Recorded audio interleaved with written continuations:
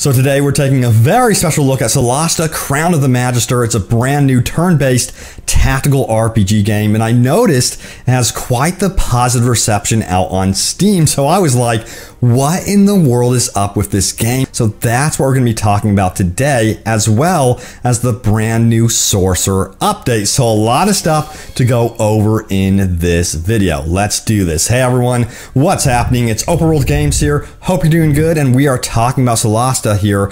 So what makes Solasta so unique in the RPG realms of games is that it's based on the Dungeons & Dragons SRD 5.1 rule set. So this is extremely faithful to the tabletop rule set that we know and love, but in epic video game form. Now, there's more casual options, of course, so if you're not familiar with any of this, don't sweat it. There's no need to panic because this game offers a ton of options to fine tune your difficulty and experience, which I found really, really cool. And before I forget, by the way, a very special thanks goes out to Tactical Adventures for reaching out to me, believing in what I do, and sponsoring this video. So, one thing that I really appreciate about this game is its very robust character creator. You can choose your ancestry, character class, family background, and also roll for your stats. There's a lot of options here, but as you advance your characters, you'll be unlocking new abilities as you go, which can alter gameplay in many different ways. So let's get into the character creator right now and talk more about the sorcerer as well. So first up, there's ancestry. Choose wisely because there's advantages and disadvantages with each ancestry. Humans are more well-rounded but lack specific skills, but the elf can use dark vision to see in dim or dark areas. And this game has key gameplay features, by the way, around darkness and light. More on that in just a moment. But as you get deeper into character creation, you'll run into the classes. There's Cleric, Fighter, Paladin, Ranger, Rogue, Wizard, and the recently added Sorcerer. Now, each one of them have unique weapons, abilities, and subclasses and strengths and weaknesses regarding stats like strength, dexterity, and more. Now, in the case of Sorcerer, they can be more proficient in casting spells, attacking with daggers and staffs, but they also have three subclasses. The Draconic Bloodline adds bonus defenses and elemental resistances. Uh, the Mana Painter can drain sorcery points, and the Child of the Rift can trade their health for bonus sorcery points. Now, the sorcerer can also manipulate their own spells with the meta magic feature. So, just within the source sorcery class, excuse me, there's quite a bit of playstyles to explore. So, it's pretty extensive. Now, the sorcerer also has an incredible amount of spells as well, as you can clearly see. Now, sorcerers can specialize in practically every magical element, including fire, acid, ice, and more. But I really like uh, that there's more unique abilities like Annoying Bee, which distracts enemies. By far, one of my favorites, though, is Magic Missiles, which target multiple opponents on the battlefield and can deal quite a bit of damage.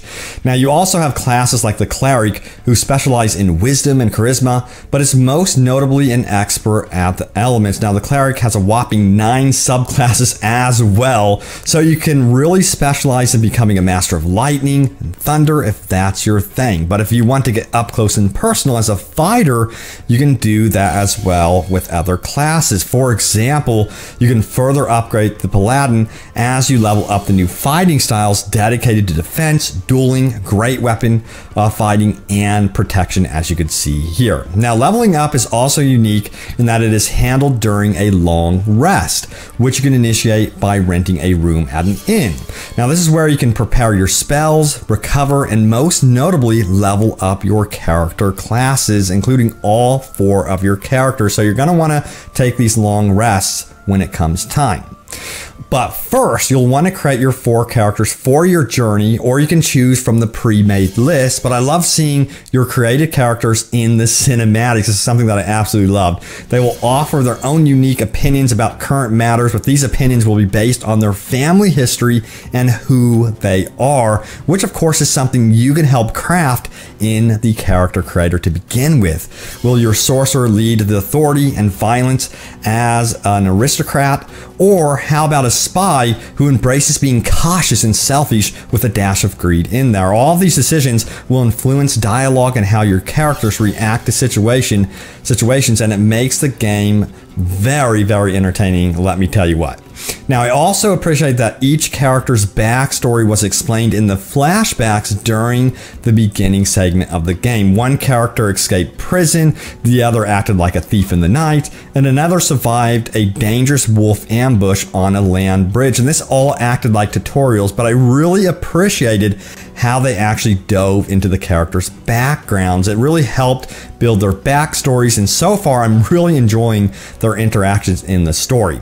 Now, one thing that I uh, got kind of surprised about uh, was the use of stealth in this game, light and shadow, plus the use of verticality in combat. Now, light will give you away when using torches, but it will also allow you to better see your foe so you can actually hit them in combat. So that's really important. Now, stealth is also very important for bypassing certain groups of enemies that you just cannot face off against or initiating a surprise attack to begin combat. And if your party is able to get on a high vantage point, then they can really, really take the advantage. You're going to want an archer on some of these high vantage points for sure. And that's where this game is absolutely the most fun. The combat is turn-based and can be as challenging as you want it to be dependent on several of the game's settings. You'll essentially be given turns per character with certain amount of moves and abilities to perform within those turns. You can also initiate counterattacks and reactive moves if you think your character will be attacked.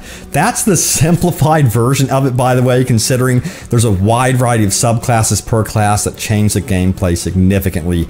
Now, offers a ton of strategy, and the more intense fights are especially memorable and rewarding if you are able to walk away with all party members on two feet. It's one of the reasons why the character creation tools are so important at the beginning of the game. So it would be wise to really have a party of four that complement one another in battle. That is so important. There's also some really cool interactive things you could do in battle, by the way, like decide to disengage, to fall back and send an obstacle at your enemy. These moments can happen, but you really do have to time them right and look for them. Once again, playing into the tactical bit of the turn-based RPG mechanics. Now, uh, I've overall really enjoyed the variety of the gameplay gameplay, by the way. Uh, one moment your character is escaping from prison, using levers to find hidden pathways and stealth to sneak by enemies. And in other missions, it's absolute pure chaos as entire battles erupt around new monstrous enemies that you've never seen before. So I'm really impressed with the variety and definitely spices up the moments between story revelations for sure. And one other cool feature of this game is the Dungeon Maker. Now, you can also test out your party with this Dungeon Maker, which is an impressive tool that allows you to handcraft your own dungeons with traps, enemies, loot, and more. You can even share your creations with other players. I had the chance to really test out the Dungeon Maker, and there's some really cool stuff you can actually do with this. You can make large hallways, for example, that are empty and dark, allowing for tension to build before a battle. So essentially, you are really pacing the dungeon the way you want to. You want to have a ton of traps. You can go for how about an overwhelming amount of enemies around the corner? You can do that too. So there's a lot you can do here uh, in this dungeon maker for sure. And there's a lot you can do in Solasta. So if you are interested in this one, check out the link in the description below to find out more about the game on Steam. Stay tuned because this game is going to be updated with further DLC and updates in the future. They're really proud of this one as they should be.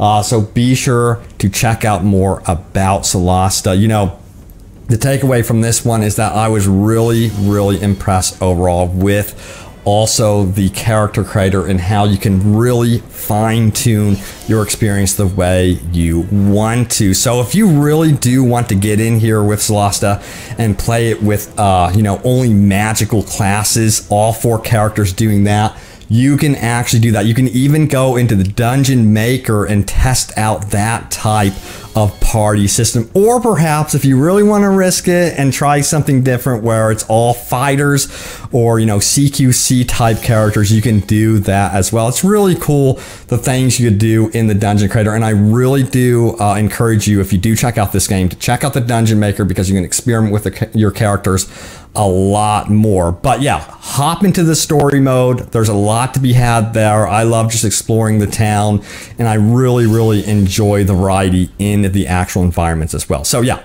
Stay tuned for more Solasta updates. I got you guys covered. Thank you so much for watching. Check out the links in the description below, and I will see you next time.